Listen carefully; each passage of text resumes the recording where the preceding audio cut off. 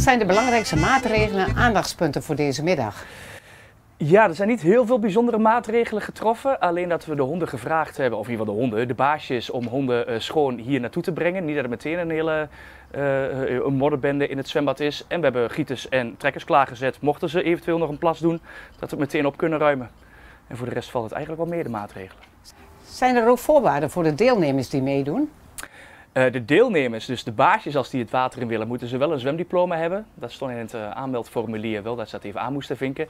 En bij de hondjes hebben gezegd dat dat niet nodig is, dus uh, die kunnen zonder zwemdiploma komen. Hebben de honden last van het chloorwater? Nee, de honden zullen geen last hebben van het chloor wat in het water zit. het gebeurt al jaren bij buitenbaden, net voordat ze sluiten. Ook daar zit gewoon chloor in het water. Ik heb nog even opgezocht op internet. Er staat niks beschreven dat honden daar last van zullen gaan krijgen. Dus dat, dat zit wel goed.